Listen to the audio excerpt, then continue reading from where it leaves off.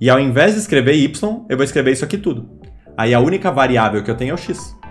Ó, ax menos parênteses 1 menos m mais x igual a 1.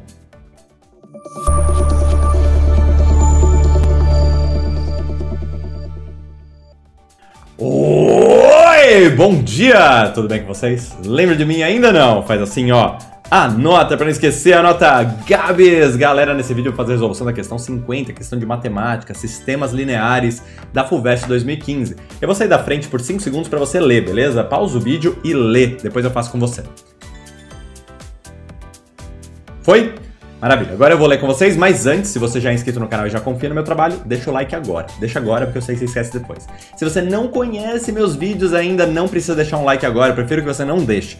Assista até o fim, e aí se você achar que o vídeo ficou bom, aí você deixa o like lá no final para me ajudar com o canal, pode ser? Vamos lá, gente. No sistema linear, aí ele deu um sistema linear. Vamos ver com calma esse sistema.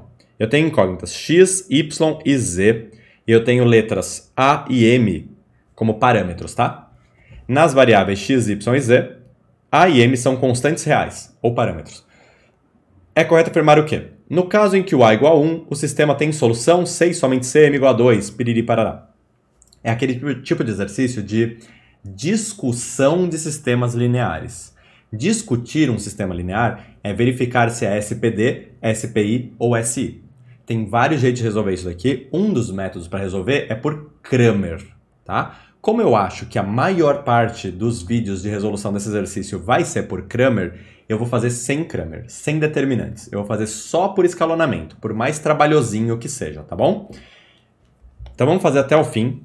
E a ideia vai ser a seguinte: lá no final, a gente vai chegar a alguma coisa parecida com isso, ó. A vezes uma incógnita, por exemplo, x, igual a b.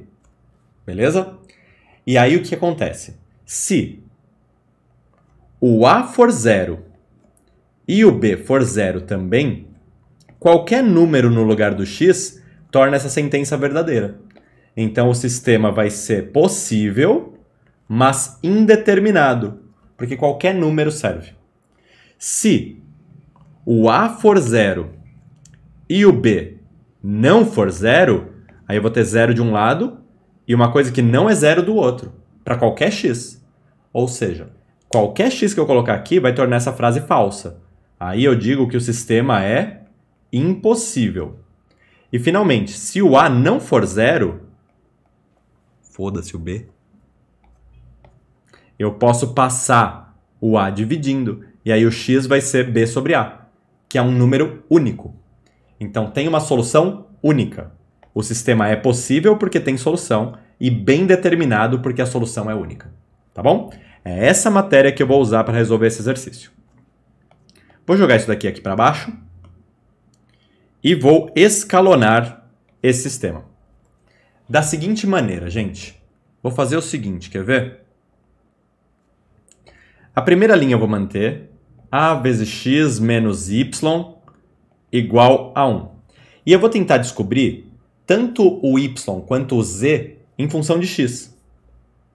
Na segunda linha, por exemplo, ó, eu posso dizer que o y é igual a 1 menos z. E na terceira linha, eu posso dizer que o z é m menos x. Aí olha o que eu vou fazer. O z já está em função do x, né?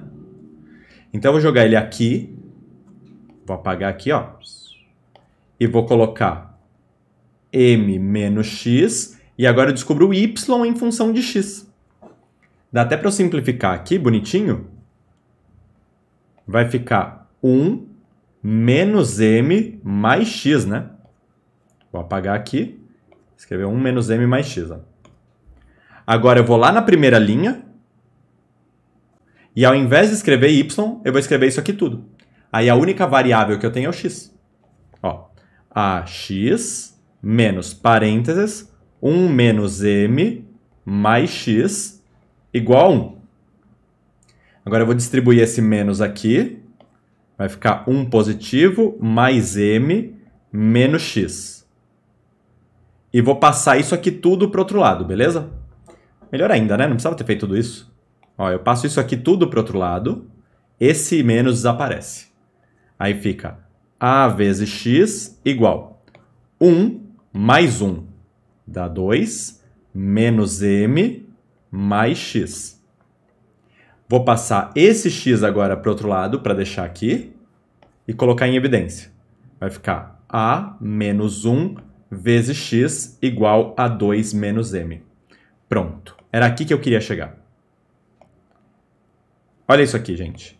Esse a menos 1 está fazendo o papel do azão. E esse 2 menos m está fazendo o papel do bezão. Qual é a conclusão que eu tiro? Ó? Se o azinho for 1, isso vai dar zero. E o mzinho for 2, isso vai dar zero também. Zero igual a zero. Sistema possível, mas indeterminado. Se o azinho for 1 e o m não for 2, aí isso deu zero e isso não deu zero. Então o sistema é impossível. E se o azinho não for 1, aí não interessa qual é o m. Se o azinho não for 1, isso não dá zero. Aí eu posso passar dividindo e o sistema vai ser possível e bem determinado.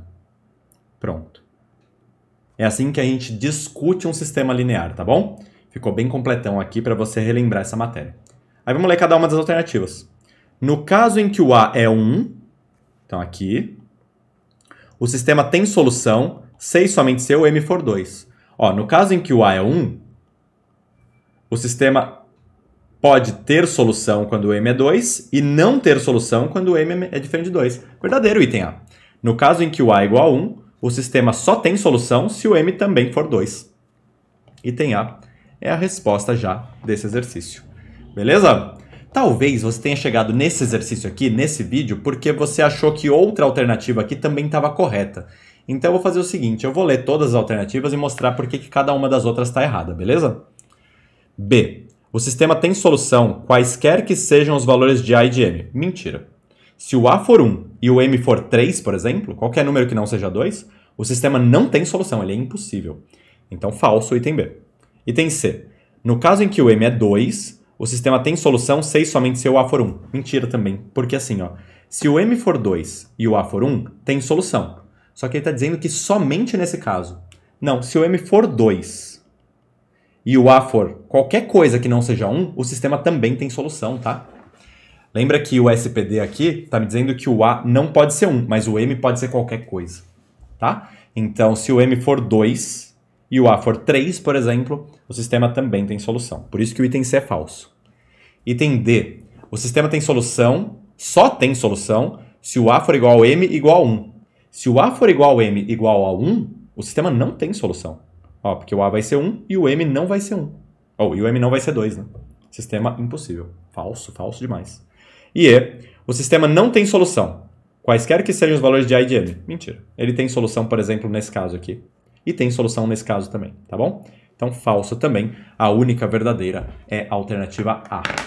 Espero que esse vídeo tenha ajudado você a relembrar um pouco dessa matéria. Se ajudou, se acrescentou para você e você puder me retribuir com um joinha aqui no vídeo para me ajudar com o YouTube, eu agradeço bastante. Qualquer dúvida que você tenha, manda aqui nos comentários que eu tiro para você com todo o carinho do mundo. E se você quiser, se inscreve no canal e dá um peteleco no sininho para ser notificado das próximas lives, beleza?